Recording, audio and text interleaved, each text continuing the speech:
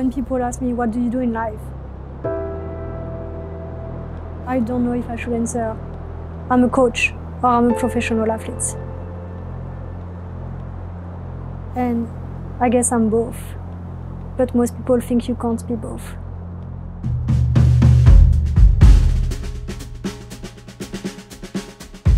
I feel like I'm mumble. Just put subtitles, okay?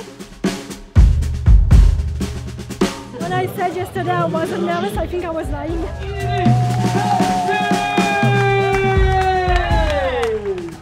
Here over 27 kilometers. Throwing it eight times. Uh, so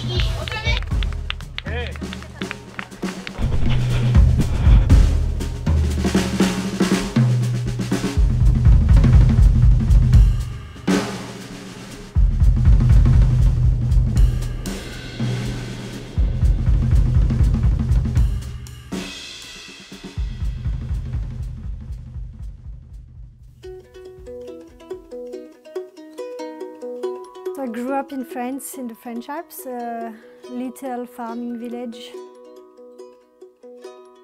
And it was quite good. It was mainly a childhood being outside.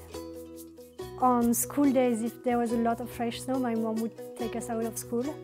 And then the teachers would get mad at her, but she was like, well, it's more important for their- their education that we go out traveling or we go out skiing than to be in a classroom. So I like that. My mom doesn't like when we're too nice. Elle était très dynamique, toujours partante, toujours drôle, toujours euh, prête à partir. When we were kids, both of us wanted to be Olympic uh, champion in skiing. That's uh, basically the only goal we had.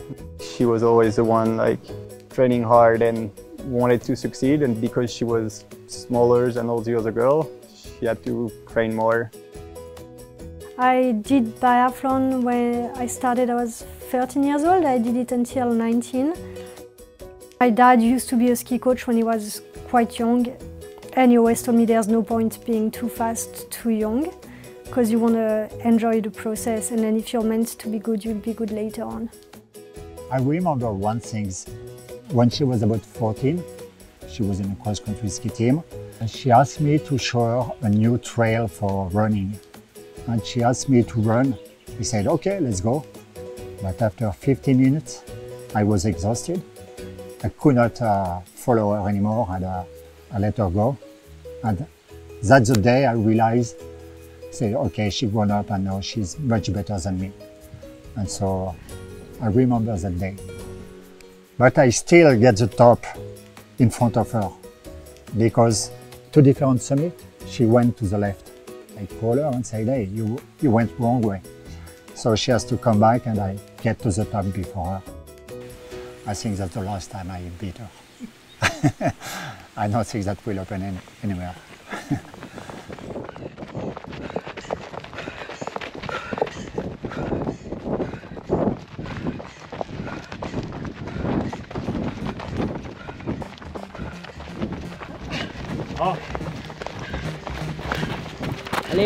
Allez, Iris, come on.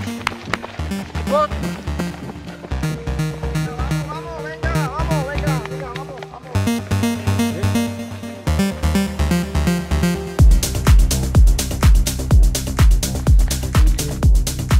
I like what's called sky running, which is running on ridgeline, rocky. You cross glaciers and you have to cross rivers, and the most remote races is what I like.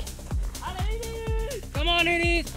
Go on. The technical bits can be challenging. Sometimes it can be almost scary. It's super steep. It can be um, yeah really high on the ridges and things like that. So it makes it uh, very challenging. And also the altitude can be quite high. So you need to be acclimated to survive the races. We have really steep climbs, we have really steep descents. Yeah, makes it a bit more difficult and a bit more exciting than your average trail race. As an athlete, uh, she's uh, really tough. I think she's uh, she can push really hard, especially in the uphill when it's technical. I think she can uh, also hang the uh, the pain quite long. I've seen her be in some of like the darkest, lowest points and um, not give up, but instead come back stronger. She manages to push through, regardless of how she's feeling or how hard things are. She, she has shown her abilities already, and uh, I'm sure she, she will continue to do so well and uh, even do better in the future.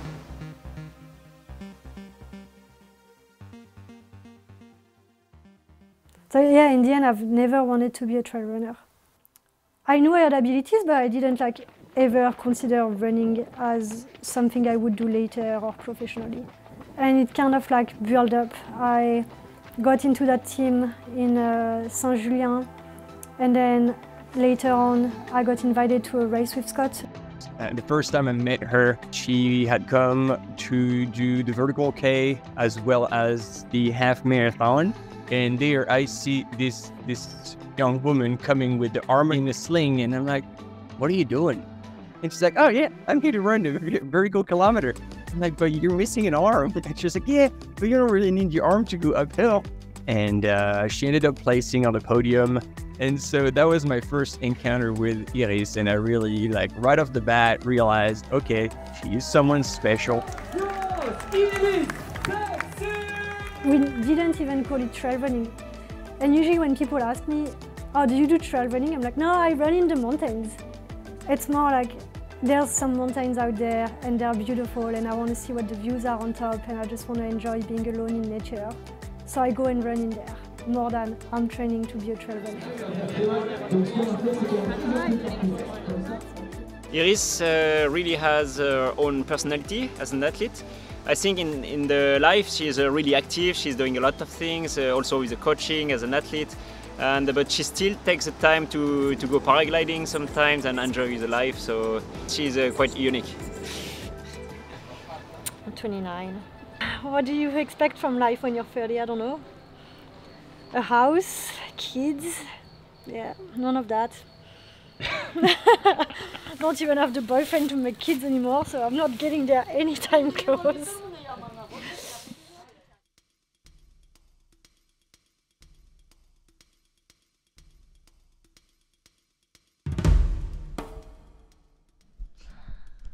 Yeah, it's 7 p.m. I just got in my room again. It often feels like I'm the one taking care of everyone, making sure their training is perfect, making sure they're good, they're not tired. I'm here, I listen, I I just hold them. But then when when I need help, when I don't feel well, there's no one. And that's I guess the mentally tough part of this job is as the coach. Well, you're not allowed to complain because no one cares about you. Well, update. The hotel's got a mini bar with some um, some whiskey, all written in Russian. I'm not sure what it's like exactly, but I'm sure it's gonna be good for my mind. That's when you do. it's been a bit of a long day. Yeah, I feel like a, a great coach and a great athlete right now. Please send help. In this day and age now, trail running is becoming so competitive that you cannot afford to not be focused and her job as a coach because as much as she's trying to be a, a pro athlete, uh, she still needs to work to sustain herself financially. Usually my off season is when I go back to work coaching. It's hard because when people ask me what do you do in life, I don't know if I should answer I'm a coach or I'm a professional athlete. And I guess I'm both. But most people think you can't be both. All of a sudden, that can have an interference with her focus. It's definitely a lifestyle that seems natural to her, that fits her, but that is extremely demanding.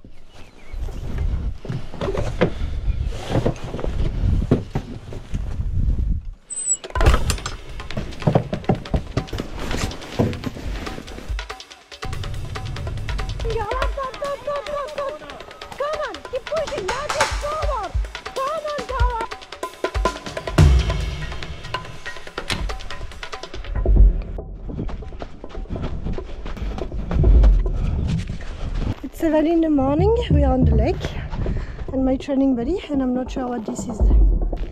I never know what's going on in this country, to be fair. Oh, Come on, girl, that's it. Come on, up, up, up. And you hold your tripod on this side. Come on, keep pushing, keep pushing.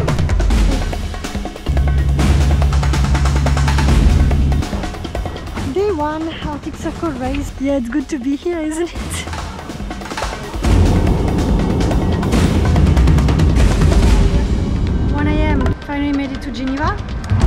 Happy me. Jeez, I need to get home.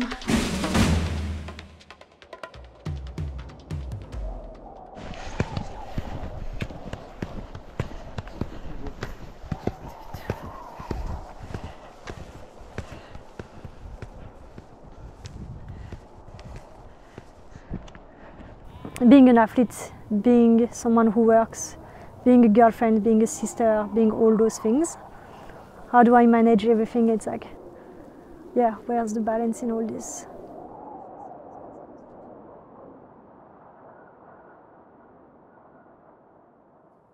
Et je pense qu'aussi le problème de ta taille quand tu étais petite, c'est ce qui t'a poussé à toujours être plus grande que les autres. And she thinks all my insecurities about my body as a teenager is what pushed me wanting to be good. To show like, well, I'm the smallest one. And that's what wanted me to like be like, well, I can be the biggest girl. As much as when you you see her the first time, like like this little piece of woman, uh, always smiling, always open, um, like she's tough. It was difficult at school because she was small and uh, many, many kids make fun about her because she was very light and she just uh, use her as a kind of toy. Just uh, sometimes it was uh, it was hard for her to accept it because sometimes it was too much. What she has experienced in the past and what has been thrown at her, um, like would have broken probably uh, half of the the people I work with or I know.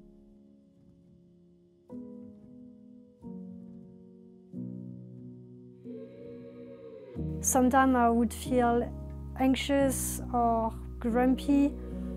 Uh, it was pouring rain and I was like, tired of being inside. I'd just go out and smash myself on the trails here. In those years, it has been like really tough on her, uh, but I think that's what also made her such a strong person. Just like not taking shit from anyone, and uh, yeah, mentally she's just super strong. Like, she can go really deep in uh, the pain cave, as she say. Like, she loves to push herself and uh, and to go beyond what she should be able to do. If I'm gonna do sport, it just for fun and pleasure, but if it starts to be a bit painful, I'll just slow down, take a rest. And she's just like, no, that's when it starts to get fun.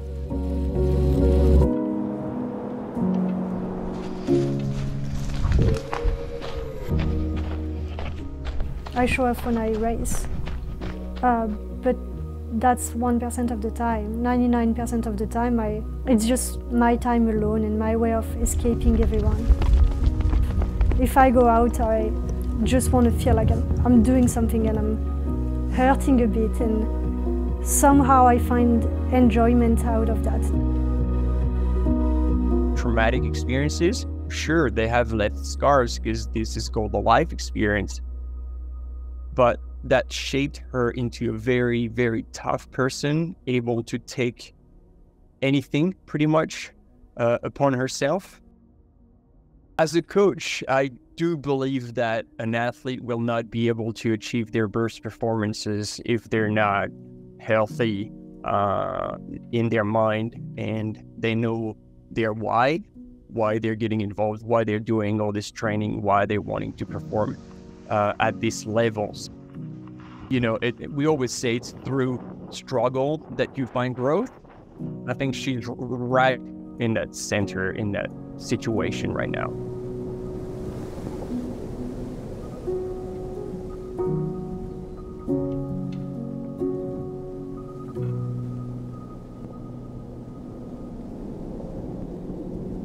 being out in the mountains and flying uh, and seeing her friends, it's really related to her why. That's her why. She just wants to have fun by doing those things and pushing herself to find her limits and potentially go beyond that.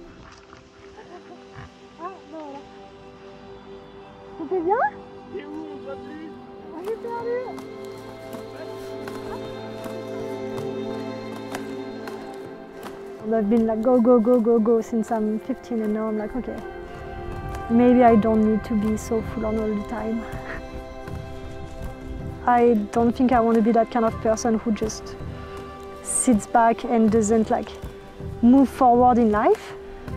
But what's moving forward? Is it achieving more in terms of sport? Is it working more? Is it possessing more stuff? I don't think that winning the competition is as enjoyable for her as it is that going with a couple of friends in the mountain just for fun and having a good time. Le caractère. Le caractère, plus, je pense plus que le rêve. Parce que le rêve, c'est pas facile à arriver, mais le caractère fait que tu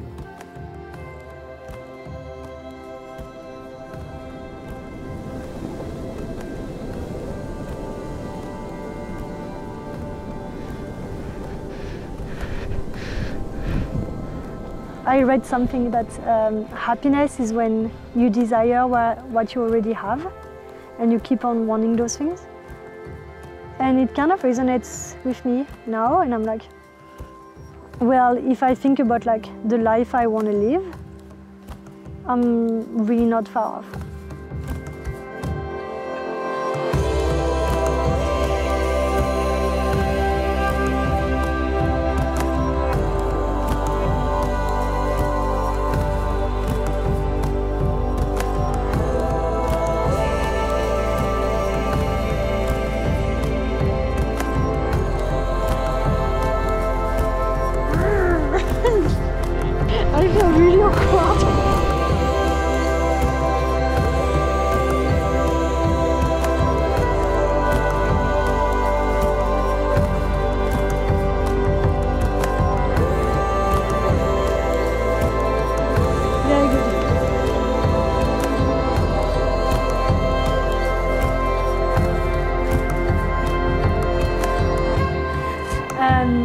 Quelqu'un me demandait comment je me sens quand je cours,